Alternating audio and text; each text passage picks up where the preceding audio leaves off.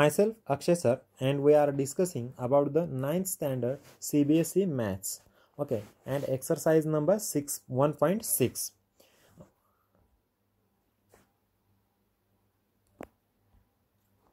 we have to discuss about the question number 1 the question number 1 is about 64 raised to half. We know that 64 we have to write 8 square raised to half. This half half will be cancelled means this half half will be cancelled and we have to get answer which is equal to 8 this is the solution of question first. Now we are going to taking question number second. The question number second we have to know that this is question number second which is 32 raised to 1 by 5 we know that the 2 raised to 5 which is equal to 32 and raised to 5 this half half power will be cancelled and we have to get answer 2 next third question is about uh, 1 to 5 raised to 1 third. Okay this is the third question solution. We know that 5 raised to 3 is equal to 1 to 5 raised to 1 third this 3 3 will be cancelled and our answer will be 5 this answer will be 5 next we are taking question number 2 in 1 question number 2 first. What is the first question? 9 raised to 3 by 2 sorry one minute. I will rough this and solve again. Uh, 9 raised to 9 raised to 3 by 2 okay this is question number second first answer. We we know that 9 is the square of 3 and raised to 3 by 2 this 2 2 gets cancelled and our answer is 3 square means 3 into 3 into 3 we get 3 3 is 9 into 3 and the final answer will be 27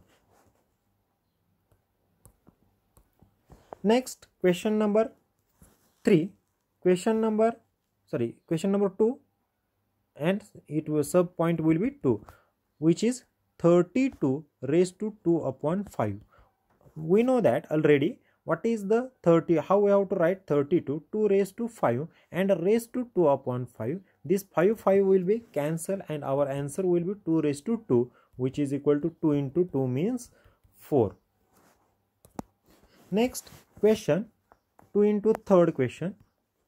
This question is 16 raised to 3 by 4 16 raised to 3 by 4 we know that the 16 is the right 2 raised to 4 okay? 2 into 2 4 4 into 2 8 8 into 2 what is this?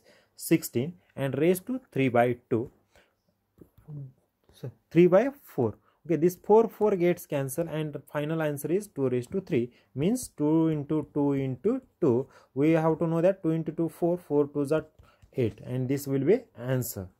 Next question number 1 to 5 raised to minus 1 by 3 1 2 5 raised to minus 1 by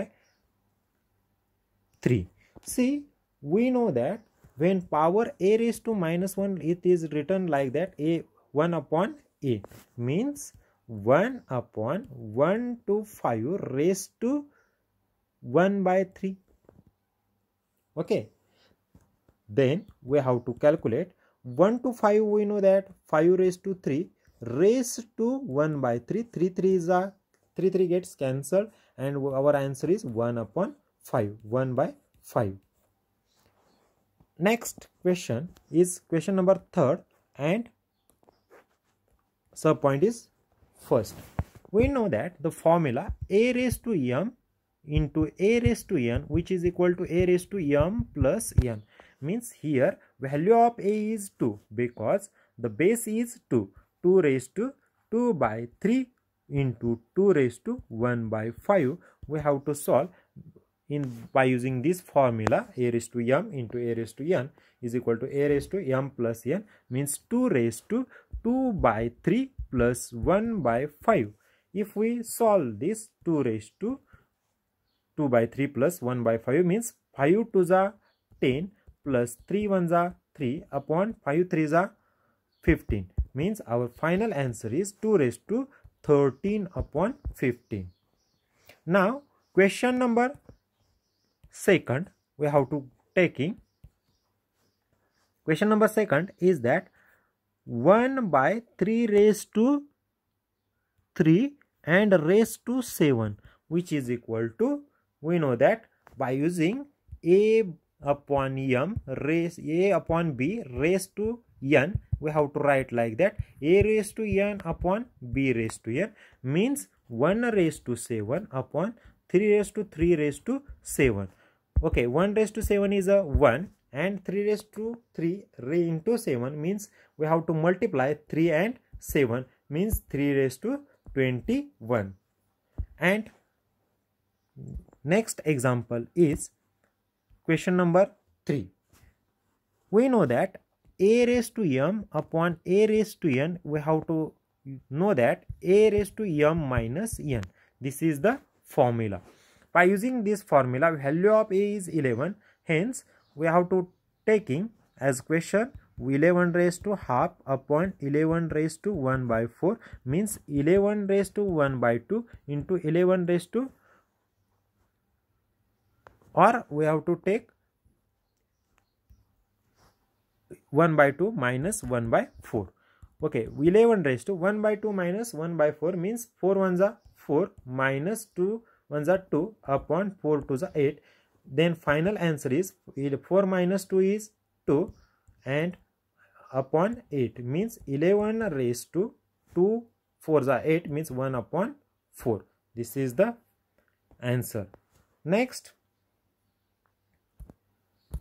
question number 4 we know that a raised to b or a raised to we have to taking m and b raised to also m. Then we have to write ab raised to m.